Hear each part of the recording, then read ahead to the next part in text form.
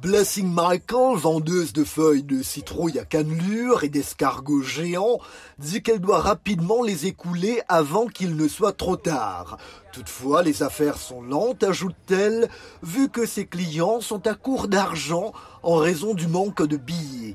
Les règlements en ligne sont une solution, mais Blessing indique qu'il y a encore des obstacles à surmonter. Nous ne pouvons pas utiliser notre argent. J'ai de l'argent sur mon compte, mais je ne peux pas l'utiliser. Comment puis-je retirer 10 000 naira et payer des frais de 2 000 naira? Ce n'est pas bon. Comme Blessing, des centaines de petites entreprises de ce marché d'Abuja se tournent davantage vers les paiements en ligne.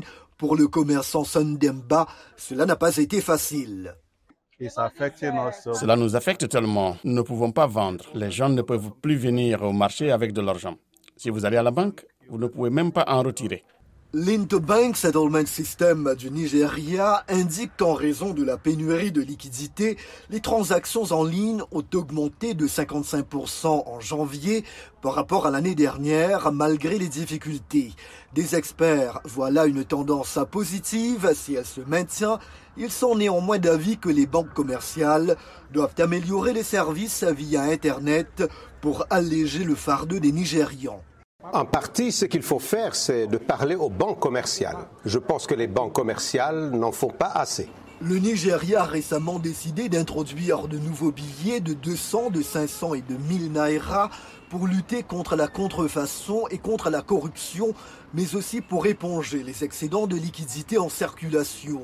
Selon les autorités, les nouvelles coupures permettront également de limiter l'achat de voix lors des élections du 25 février.